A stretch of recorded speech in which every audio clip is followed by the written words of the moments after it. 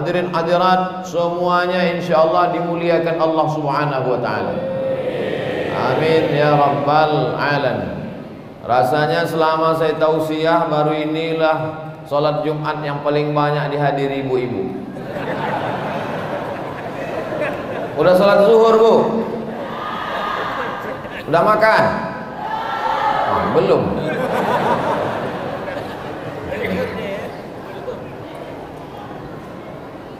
أعوذ بالله من الشيطان الرجيم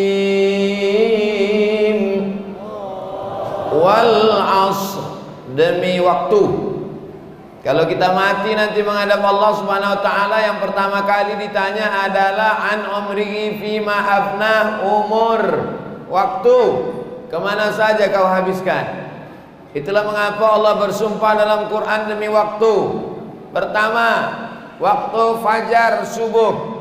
Wal fajri walayalin ashr. Waktu subuh. Was subhi idza tanaffas. Waktu duha. Wad duha. Waktu siang.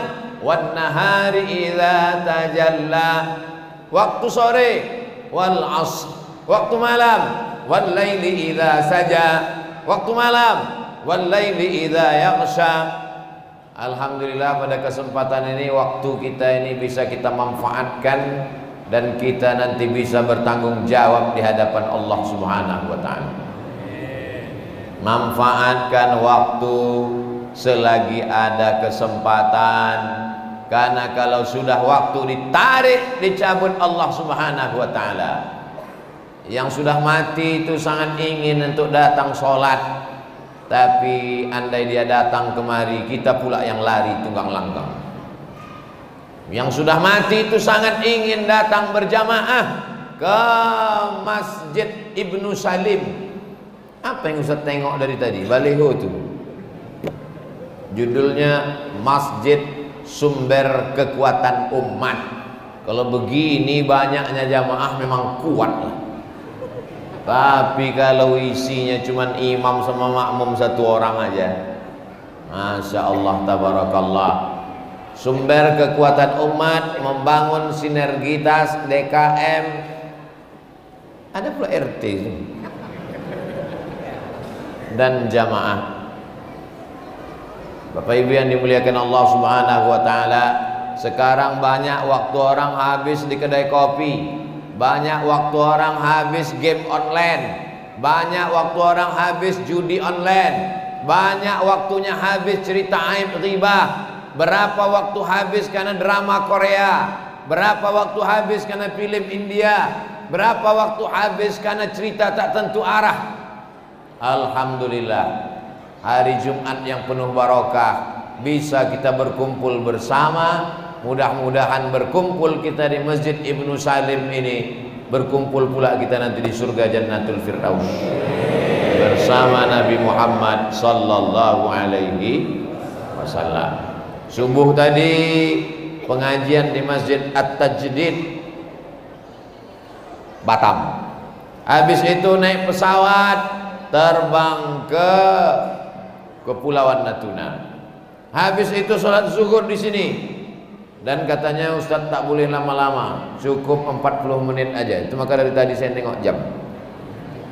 Lalu kemudian setelah dari Masjid Ibnu Salim, kami pun akan menyeberang. Ke mana kita bisa? Sedanau. Oh, sedanau dua danau lah. Besok subuh habis tausiah subuh, pulang saya balik ke Batam. Tausiah pula di beberapa tempat di Batam. Habis itu hari Ahad baru balik ke Pekanbaru. Istirahat di Pekanbaru tiga hari. Habis itu terbang pula lagi ke Bangka Belitung. Habis itu lagi pergi ke Yogyakarta. Habis itu pergi pula lagi ke Ambon. Sampai kapan ini Pak Ustaz? Sampai malaikat maut datang. Istirahat kita nanti di liang lahat. Mudah-mudahan kita di liang lahat itu istirahat. Karena tak semua orang istirahat di liang lahat. Habis kena azab kubur. Itulah mengapa kita sebelum salam itu berdoa, Allahumma inni a'udzubika min azabi jahannam wa min azabil qabri. Itulah mengapa kalau lewat di makam kita ucapkan salam. Assalamualaikum ya ahla diyar minal mu'minin wa inna insyaallah bikum lahiqun yarhamullahu mustaqdimin wal mustakhirin nas'alullah lana wa lakumul afiyah mudah-mudahan semua waktu jam ini bernilai amal amal amal amal ini banyak saya tengok bapak-bapak tentara kita. Bapak-bapak yang pakai baju seragam tentara angkatan laut angkatan darat angkatan udara polisi berada di dalam masjid. Saya yang orang sipil bukan tentara. Bangga menengok mereka yang berseragam di masjid. Betul? Macam-macam tak setuju bupati di tengah kesibukannya mengurus 8 80 ribu orang 86 ribu orang yang diurus Pak Bupati. Masih sempat datang ke tempat kita. Bapak Kapolres mengurus pecandu narkoba, mengurus pencuri, mengurus perampok, mengurus pembunuh, masih sempat datang ke masjid. Bisa pula kepala rumah tangga yang tak ngurus apa-apa, cuman bininya satu, anak dua, tak datang ke masjid. Kullukum ra'in, setiap kamu pemimpin, wa kullukum mas'ulun ar setiap kamu semua akan dituntut diminta tanggung jawab di hadapan Allah Subhanahu wa taala. Mudah-mudahan kita termasuk yang lulus nanti waktu ditanya Allah. Suami-suami ibu yang belum sholat kita doakan sama-sama mudah-mudahan terbuka pintu hidayah supaya segera dia sholat yang belum juga sholat udah didoakan bertahun-tahun kita doakan sebuka temu semoga terbuka pintu liang lahat saya mancing aja, takut ibu tuh mengaminkan. Allahumma hdi qaumi fa innahum la ya'lamun. Berikanlah hidayah kepada kaumku yang belum mau menerima syariat Nabi Muhammad sallallahu alaihi wasallam. Kita ini bukan hakim yang membawa martil memutuskan perkara orang kau masuk neraka. Kita hanya mengajak orang ke jalan Allah Subhanahu wa taala. Saya tak ada kuasa, saya bukan bupati, saya bukan gubernur, saya bukan presiden, saya tak punya kekuasaan. Saya hanya bisa dengan suara, dengan ayat Quran, dengan hadis Nabi, dengan pendapat ulama mazhab, Imam Syafi'i, Imam Hanafi, Imam Maliki, Imam Hambali, melalui meja, melalui mimbar mengajak orang ke jalan Allah. Tapi bukan berarti yang berdakwah ini cuma ustadz semua kita ini mengajak orang ke jalan Allah Subhanahu wa taala. Bapak, saya bukan ustaz, saya bukan ulama, saya tidak profesor, saya tidak kiai. Bapak mengajak istri dan anak. Mohon maaf Pak Ustaz, biniku pun tak bisa kuajak. Mati aja lah Pak. Gimana kekuasaan kita di hadapan Allah Subhanahu wa taala? Tapi mereka yang diberikan Allah jabatan kekuasaan, Bapak Kapolres, Bapak dan Ramil, Bapak dan Dim, Bapak dan Lanal, Bapak Bupati, Bapak Gubernur, Bapak Wali Kota. Mereka tidak khutbah, mereka tak ceramah. Cukup dengan tanda tangannya, cukup dengan kekuasaannya, dipakainya untuk menolong agama Allah Subhanahu wa taala. Sesungguhnya apa yang dititipkan Allah hari ini akan diambilnya, akan dicabutnya dan ketika sudah tercabut Inna lillah wa inna ilaihi rajiun. Kira-kira di antara saya, bapak, ibu, siapa di antara kita ini yang akan mati duluan? Mana kita tahu? Malaikat itu kalau mau datang bukan di miskolnya kita duluan. Berapa banyak orang yang kena penyakit covid tak mati? Berapa banyak orang yang tak kena covid mati? Kalau sudah ajal sampai innama amruhu idza arada syai'an ayakula lahu kun fayakun hidup ini resikonya mati muda itu resikonya tua sehat itu resikonya sakit. Berani sehat siap sakit. Berani hidup tak takut mati. Takut mati jangan hidup. Takut hidup mati saja. Islam ini mengajarkan kita jelas. Jangan sampai mengawang-awang mengambang tak jelas. Alhamdulillah. Untuk apalah Ustadz berceramah di masjid? Di masjid kan orang sudah baik. Ustadz cerita tentang sholat di masjid kan orang sudah sholat Ustadz cerita tentang ke masjid orang sudah ke masjid kenapa Ustadz ceramahi lagi memang nampaknya aku bercakap ni di masjid.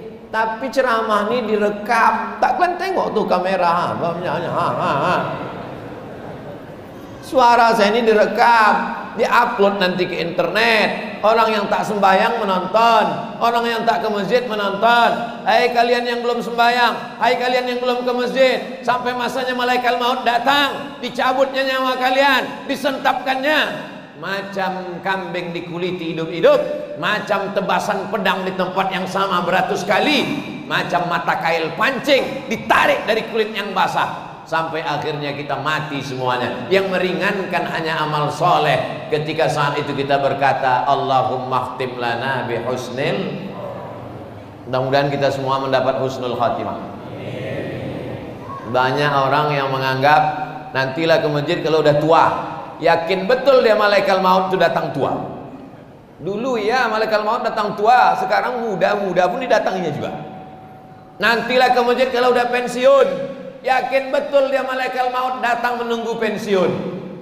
Tapi kalau sampai masanya, maka saya bangga hari ini menengok, saya tengok anak-anak muda, orang-orang yang sedang sehat walafiat. Mudah-mudahan yang sakit-sakit diangkat Allah penyakitnya. Yang bingung-bingung, yang hatinya goyang-goyang, yang galau, ke masjid tidak, ke masjid tidak, ke masjid tidak, ke masjid tidak. Maka kita doakan ya muqallibal qulub, engkau yang membolak-balikkan hati. Kokohkan hatinya ke dalam agama Allah Subhanahu wa taala. Tak bisa istiqomah kalau sendirian. Istiqomah itu mesti kita berjamaah bersama-sama. Kalau ada tetangga depan rumah tak ke masjid, yang salah tuh dia apa kita? Kita salah. Kenapa tak kita ajak dia? Kenapa tak kita ketuk pintu rumahnya? Ada orang yang tidak dokter, tidak belajar ke Mesir, tidak ustadz, bukan ulama, tapi dia rajin mengetuk pintu jamaah. Assalamualaikum Pak. Waalaikumsalam. Ayo ke masjid ya Pak. Kusangka kau ngajak undangan makan kambing. Tutup ini. Besok datang lagi. Assalamualaikum. Waalaikumsalam. Ayo ke masjid ya Pak. Jangan kau ajak-ajak aku. Aku udah haji dah. Belum kau lahir aku haji dah. Aku ini di Masjidil Haram, tak kau tengok ini gambar kau foto kemarin. Padahal dia ke Masjidil Haram sekali aja, habis itu tidur di hotel. Tapi orang ini tidak pernah berhenti mengajak sampai akhirnya dibukakan Allah pintu hidayah. Inilah yang sesungguhnya dakwah. Jadi ngajar di masjid ini bukan dakwah. Yang ada di dalam masjid ini adalah taklim, mengajar. Yang dakwah sebenar dakwah itu mana? Mengajak orang di pasar, mengajak orang di tepi laut, mengajak orang di sampan, mengajak orang yang belum sholat. Ibu mungkin bukan ustazah, ibu bukan profesor, ibu bukan kiai, tapi cakap ibu luar biasa. Siapa yang ibu dakwahi? Cuman suami. Apa kata ibu? Ibu tidak ceramah. Jangan ibu pulang dari sini, ibu panggil suami ibu. Sini bang. Ya ayuhallazina kafaru Ibu bercakap singkat aja. Tak sampai satu tangan ini cakap ibu. Cuman pendek aja. Bang, kalau abang mati nanti pendek aja. Pas mau tidur malam, bang, kalau abang mati nanti bang, lama-lama abang tutup pikir. Kalau mati nanti, kalau mati nanti, kalau mati nanti, kalau mati nanti. Akhirnya terbuka hidayah. Karena cakap yang dari hati akan sampai ke hati yang dari mulut cuma sampai ke mulut. Mudah-mudahan yang saya cakapkan ini sampai ke hati kita semua insya Allah niat saya tak jahat.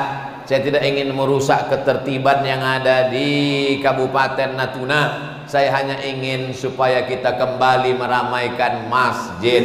Macam mana kemarin waktu Ustaz Somad datang ke masjid Ibnu Salim? Uh penuh atas, bawah, kanan, kiri, saking penuhnya sampai selepku hilang. Bukan itu dakwah. Dakwah adalah kalau subuh besok sholat subuh lebih ramai dari subuh semalam. Itulah keberhasilan dakwah. Bukan foto ramai di posting di Facebook, di Instagram. Oh, ramai. Idul Fitri, Idul Adha lebih ramai. Keberhasilan dakwah tengok subuh besok. Saya yakin dan percaya subuh besok lebih kurang macam ini juga lah jemaah. As-salatu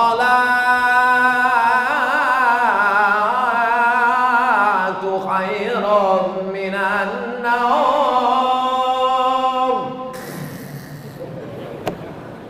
Bapak Ibu yang dimuliakan Allah Subhanahu wa taala. Sampai masanya kita tua, sampai masanya kita lemah, kaki tak sanggup lagi melangkah, menggigil berdiri tegak lama, terbujur di ruang ICU rumah sakit, barulah terdengar suara azan. Ayyalas salah. Meleleh air mata mau ke masjid, tapi saat itu kesal tak dapat dijemput, tenaga tak bisa pulih balik, mumpung masih sehat, masih muda, masih melangkah, masih kokoh, datanglah ke masjid. Mudah-mudahan kita istiqomah semuanya insya Allah. Amin.